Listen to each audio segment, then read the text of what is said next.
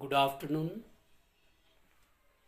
students of BA English Honors, Mahatma Gandhi Central University, Motihari. I am here today to upload my video lecture on the topic Tradition and Individual Talent by T.S. Eliot. As you know, T.S. Eliot is a representative critic of modern English literature. It is correct to say that concept of modernism in English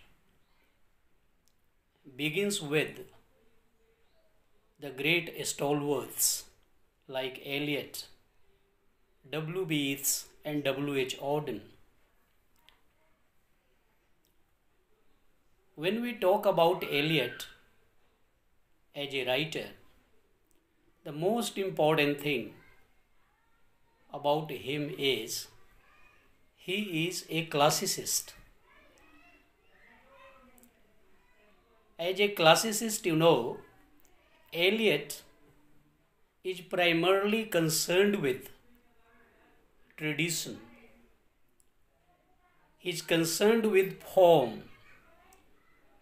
He is concerned with the formalistic aspects of a work of art. Eliot himself declared, I quote, I am a royalist in politics, Anglo Catholic in religion, and a classicist in literature. My dear students, the present essay, Tradition and Individual Talent, which was published in 1919 for the first time in The Egoist, a journal, and later it was published in the first book of criticism by T.S. Eliot entitled The Sacred Wood.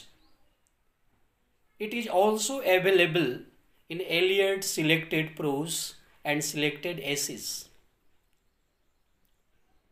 Eliot, like Philip Sidney, Wordsworth, Coleridge, Alexander Pope, appears to be a poet critic because whatever critical principles Eliot formulates, propounds, he executes and implements his principles into his writings.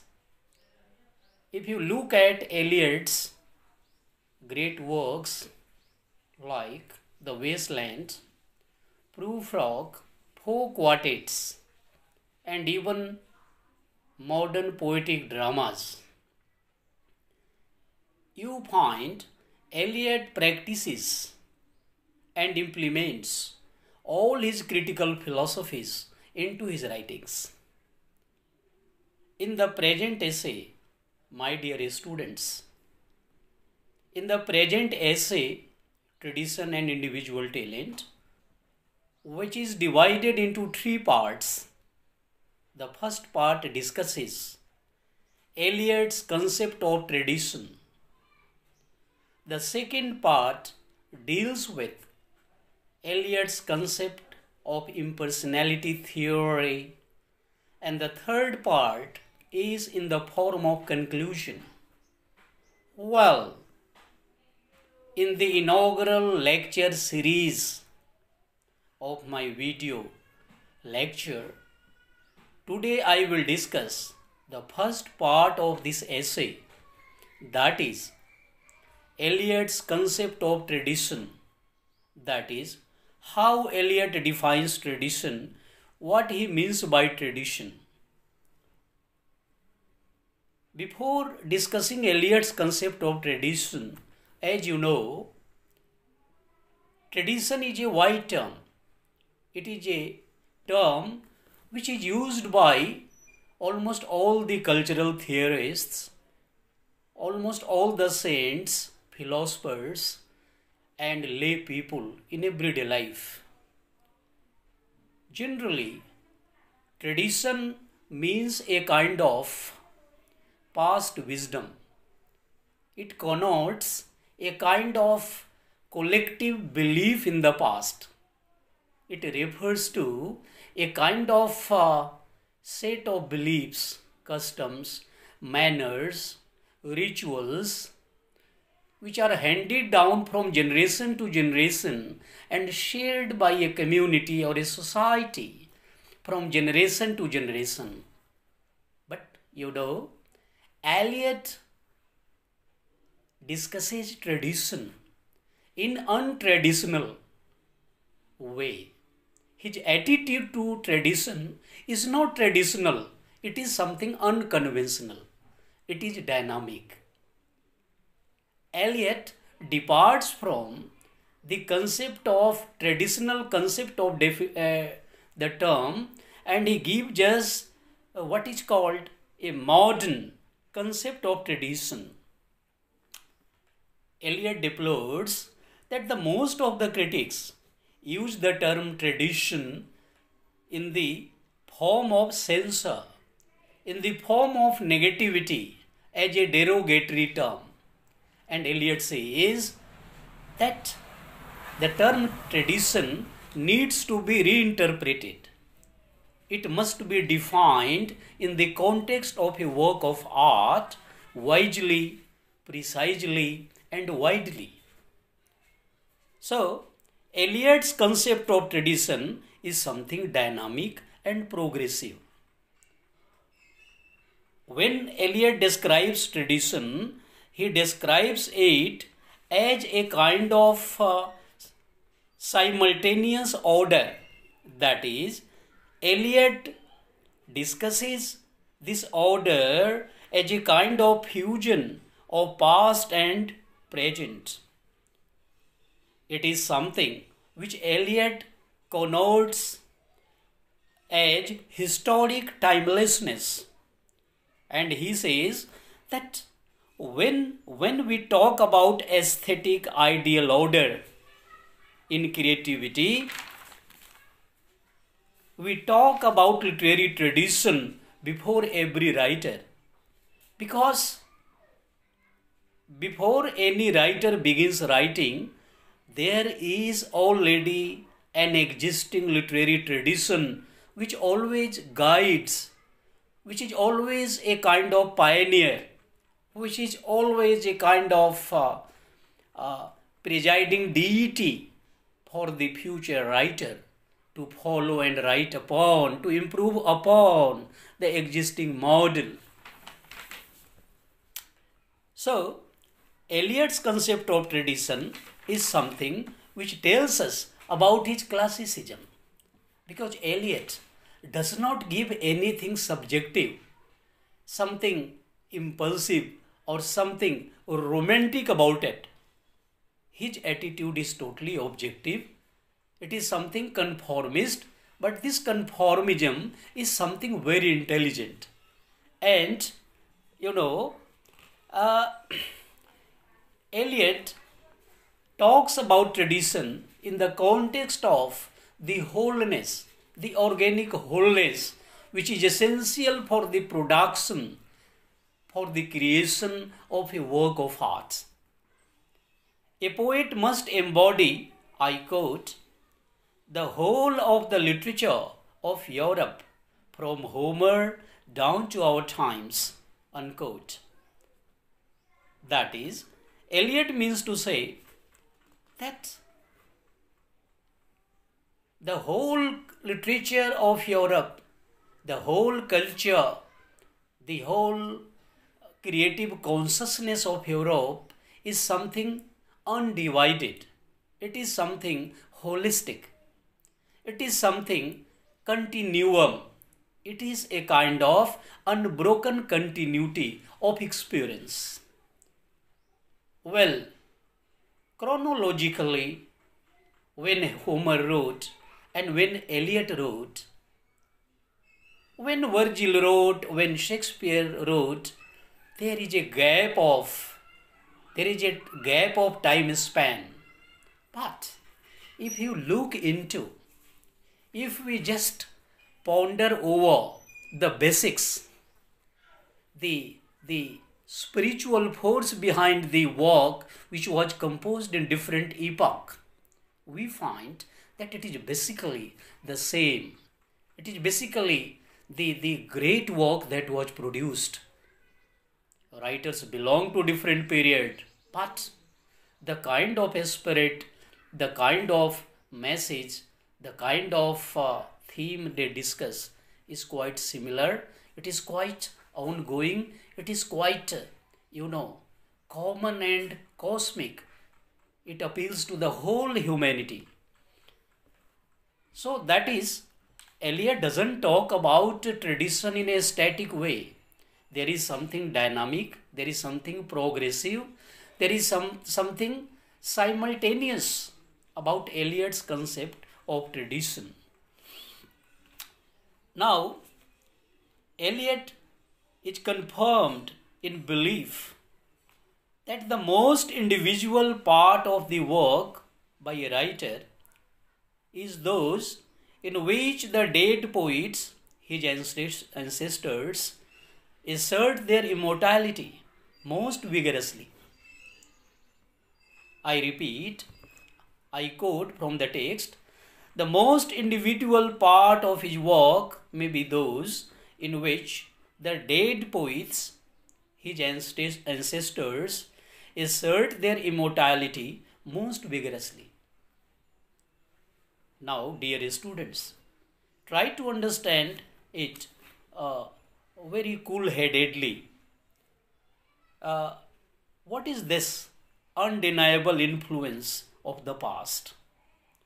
How dead poets, how ancestors come to predominate the writing in the present. You know, there is a great critic in English.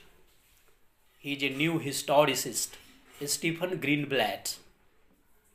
He has uh, very wisely observed, I quote, I have a desire to speak with the dead. I repeat, Stephen Greenblatt writes, I quote, I have a desire to speak with the dead. Unquote. What Stephen Greenblatt wants to convey that the essence of the past, the meaning of the past, it continues to assert its important in the important role in the present. That is, the present and past they are undivided for a temporal writer, for a writer who, who means a kind of isolated, a kind of bifurcation in experience, past and present can be different sort of movements. But for a philosopher, for a great writer, for a real scientist, this past and present, they cannot be divided because the present cannot be uh, existing without taking the past into consideration. Eliot, you know, Eliot, like a great artist, he had the great vision about it. He deeply believed that present cannot be imagined without taking the past into consideration. And it's true because, you know, when we talk about the critic like Julia Kristeva, we find uh, this critic talks about intertextuality. That is, one text cannot be isolated from another uh, because there is nothing new. Things are always same there, only the form changes. Now, if we look at the great observation by Alexander Pope, he beautifully writes, I quote, True wit is nature to advantage dressed, what oft was thought, but never so well expressed. I unquote. I repeat, Alexander Pope writes, I quote, True wit is nature to advantage dressed, what oft was thought but never so well expressed. Unquote. That is, Pope also talks about putting the new putting the new wine in old bottle. That is, the material of the literature, the material of the art is mostly the same. It is only the form, the style, the innovation, the stylistic which changes every time. That is, Eliot also writes at a place, novelty is better than repetition. It means that the business of a writer, the primary duty of a writer as a classicist, he or she has to become different in his presentation, different in his interpretation, different in his way of writing. He is not supposed to write something new, but he is some, supposed to introduce the way of writing something new. So, it simply means that the, the process of writing in the present, it has something integral to do with the past. For example, if a writer in Europe is uh, willing or wishes to write something today, he or she cannot think in isolation from the great writers like Homer, Dante, Shakespeare, Virgil, Sophocles, Aeschylus, Euripides, etc. Similarly, if a writer wishes to write something in the present India today, he or she cannot afford to write without reading or without being influenced by the great classics of the past that is Valmiki, Kalidas, Kabir, Tulsidas, Surdas, etc. It is, it is something universal. It is something, something inspirational for every writer to begin with. So, you know, Eliot talks about it, about tradition in a very wise and profound way. Eliot says that we cannot even conceive or imagine to write something without being aware of the tradition. But now the question is, Eliot asks, how we can be aware of the tradition? Can we have this sense of tradition simply by inheritance? Simply by genetics? Simply because we are born in a society or community of that influence? No, not at all.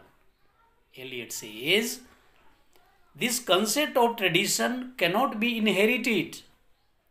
It is not something genetic. Rather, this concept of tradition is acquired. It is a strenuous process. This sense of tradition is acquired by what is called, I quote from the text, historical sense. Historical sense.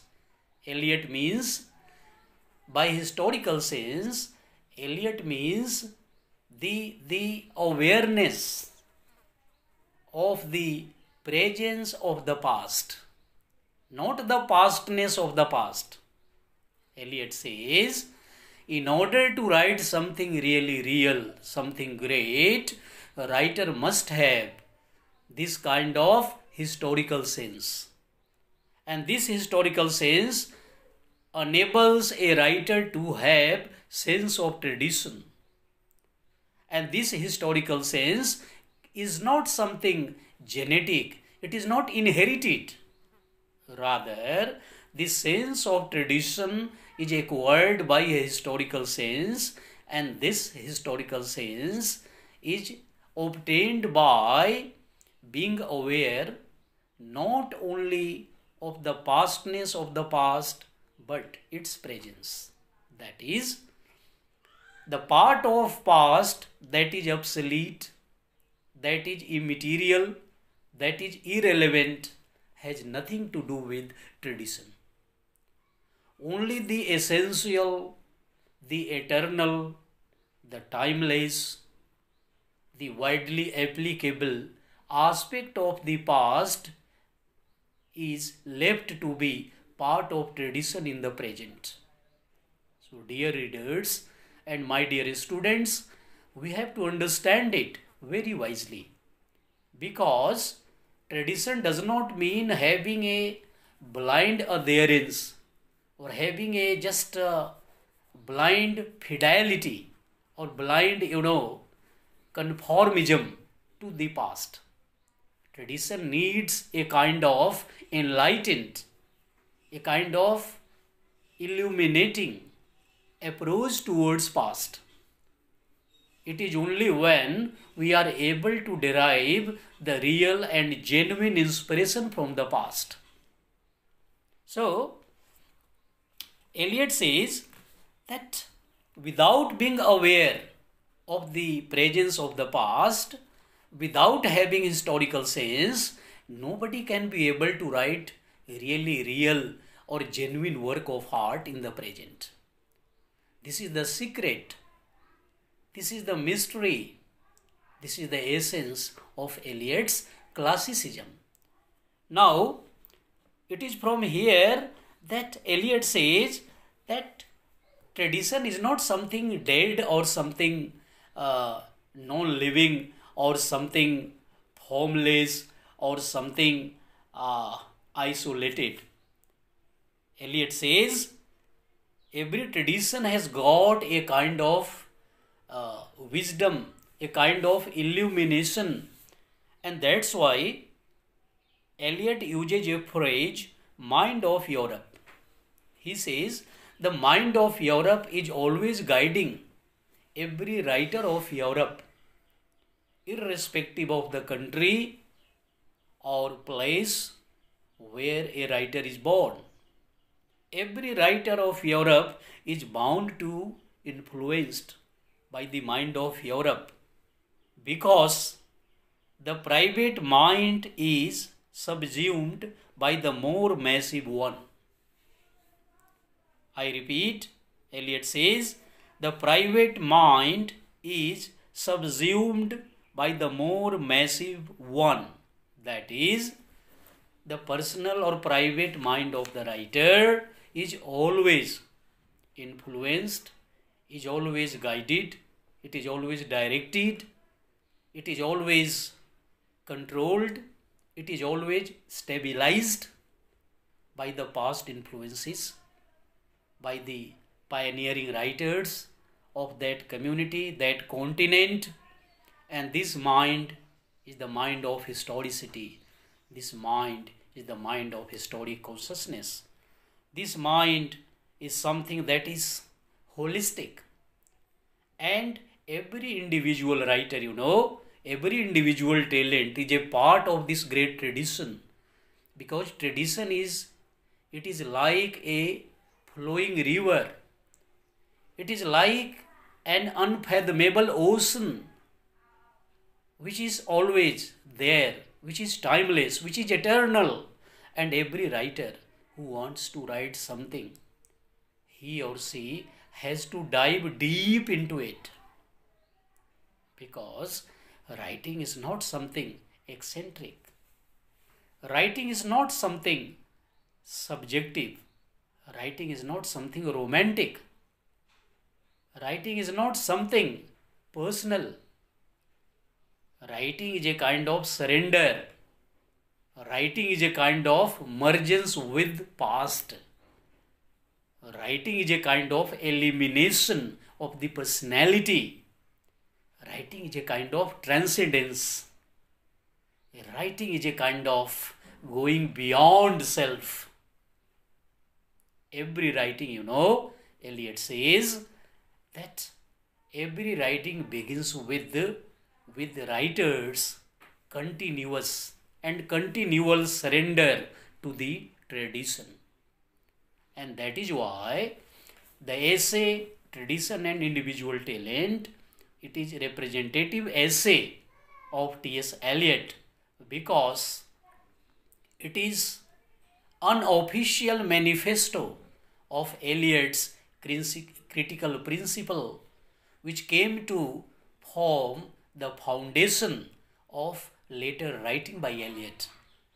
And it is here that Eliot lays down his his eternal, his universal, his valid critical proposition which he follows throughout his life. So, in the present lecture, I have tried to explain the first part of the essay that is tradition and individual talent. And in the first part of the essay as you have already come to know Eliot discusses the meaning the significance the definition of tradition. The second part of the essay that is impersonal theory which is most important i will discuss I will upload in the later part, maybe tomorrow or day after tomorrow, and then conclusion I will discuss. And you know, uh, in this nationwide lockdown due to coronavirus, today uh, I have tried to unlock myself and uh, convey myself my views of uh, T.S. Eliot's tradition and individual talent uh, so that my dear students should not and need not find any problem in preparing their syllabi for coming papers because this is the time when we should be aware of the, the suggestions, the measures, the preventive measures which government of India, the state government or university have directed us to follow. So let's stay at home, let's work from home and I'm very happy that my colleagues of departments in particular and my different colleagues from various departments of MGCUB they are taking sincere pain to reach out to, to their students through video conferencing, through Facebook, through uploading their video lecture. So this series, this effort will continue. And I wish all my students a very bright future ahead. And I expect my students, my colleagues to follow the preventive and suggestive measures of the government and try to maintain their neighborhood neat and clean, their family neat and clean and take care to keep themselves hale and hearty, wise, otherwise, because after all, life is precious, and after all, human life is priceless. And let's stay tuned and let's query one another if you have any suggestion if you have any uh, query regarding the writer you can forward your query your uh, points and I'll be able to respond to your query later on.